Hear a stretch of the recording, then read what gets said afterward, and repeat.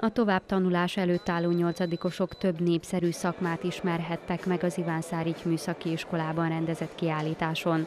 A munkaadó cégek és vállalkozások képviselői elégedettek, ugyanis a diákok folyamatosan érdeklődtek, kérdéseket tettek fel a különböző foglalkozásokról.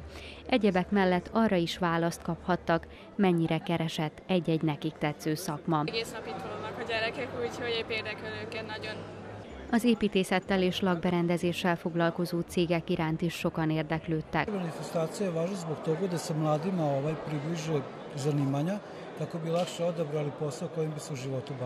A rendezvényen a népi mesterségek is helyet kaptak. Vagyunk itt egy pár, aki a régi mesterséget szeretné a gyerekeknek mutatni, hogy kétkezi munkával is lehet dolgozni. Az első szabadkai karriernapokon a fiatalok ki is próbálhatták a bemutatott szakmákat. A rendezvényen 11 szabadkai és topolyai középiskola, valamint a Szegedi és az Újvidéki Egyetem is bemutatkozott. A karriernapok az IPA Magyarország-Szerbia határon átnyúló együttműködési program részeként valósult meg.